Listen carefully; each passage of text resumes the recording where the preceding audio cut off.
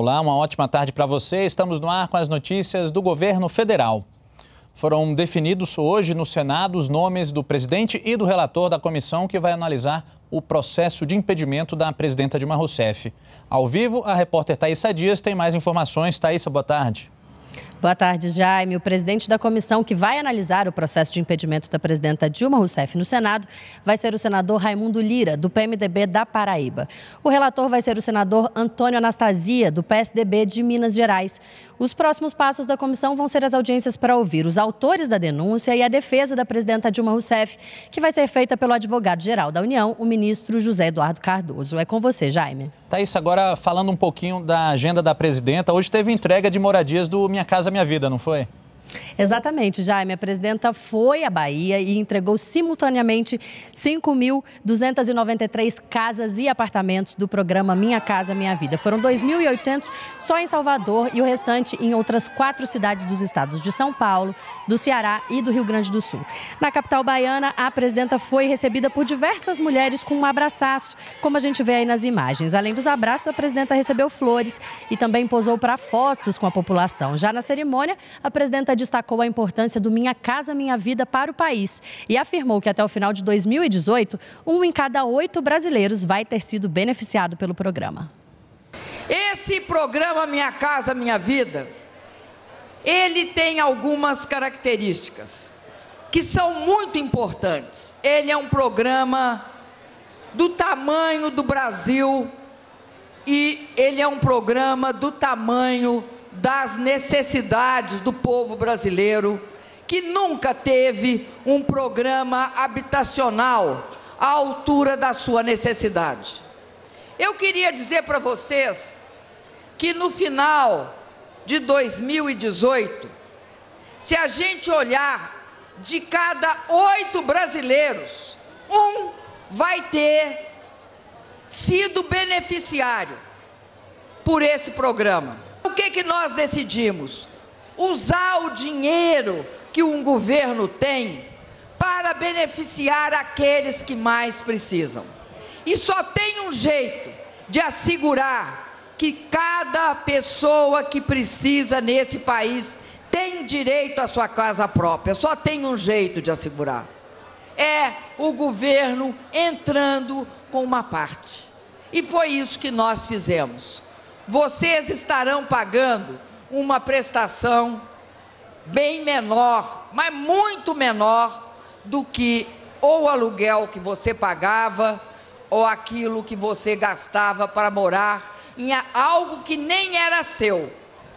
A vantagem do Minha Casa Minha Vida são inúmeras as vantagens, mas eu acho que a principal vantagem é ter um lugar para criar de uma forma decente as crianças e os jovens que são o futuro desse país. A Advocacia Geral da União protocolou um recurso na Câmara dos Deputados para anular a sessão em que foi votado o prosseguimento do processo de impedimento da presidenta Dilma Rousseff.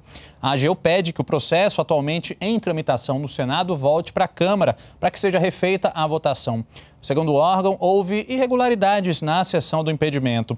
Entre elas, o fato de o relator do processo, o deputado Jovair Arantes, ter discursado na tribuna no dia de votação, de ter havido orientação dos líderes para a votação das bancadas e também por grande parte dos deputados, ao votar contra a presidenta, não terem usado como justificativa o crime de responsabilidade atribuído a ela, e sim manifestações de que estavam votando, por exemplo, pela família, pela cidade natal.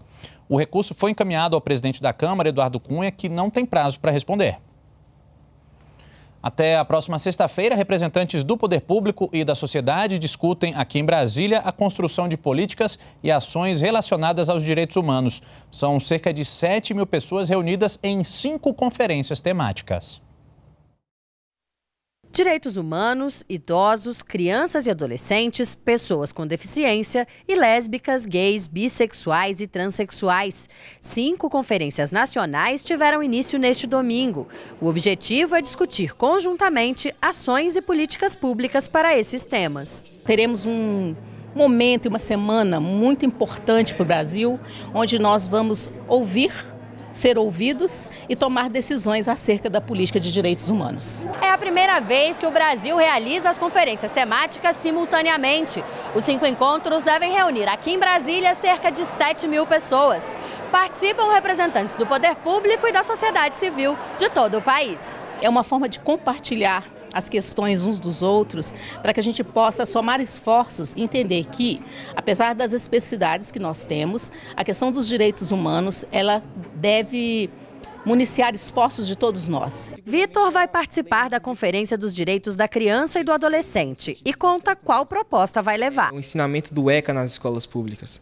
Nós temos um poder bem grande só que nós não temos o conhecimento. A décima Conferência Nacional dos Direitos da Criança e do Adolescente tem a maior participação de jovens da história das conferências. Um dos principais pontos do encontro é a construção da Política Nacional dos Direitos da Criança e do Adolescente. A gente quer ouvir a criança, a gente quer ouvir o adolescente. É, para saber como ele olha, como ele observa o mundo ao redor e como ele espera que o governo ofere, ofereça políticas públicas eficazes e eficientes para os seus direitos. Acho que se pudesse mudar alguma coisa seria mais cultura também para os jovens. Todo jovem tem o direito dele correr atrás dos direitos dele e ele participando assim mais, eu acho que ele consegue chegar mais além dos direitos. A partir de agora, clientes podem abrir e fechar conta bancária pela internet. As regras foram definidas pelo Conselho Monetário Nacional e já foram publicadas no Diário Oficial da União de hoje.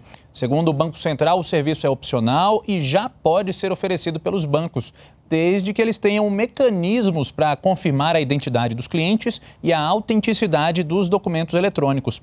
Essas mesmas regras das contas convencionais são válidas para as contas pela internet, como as regras relativas à situação cadastral, a tarifas, a adequação de produtos e serviços e a prevenção de lavagem de dinheiro e terrorismo.